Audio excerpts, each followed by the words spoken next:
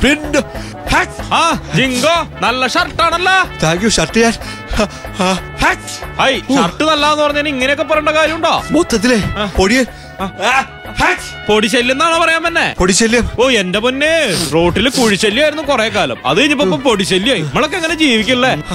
ഒരു ഒരു മറുപടി പറയാനാ പറയണ. ലവനോട് പെട്ടെന്ന് പറട്ടാ ശല്യം ശല്യം സർവത്ര. ഇന്ന് മറുപടി പറയുന്നത് വേറൊരാളാ.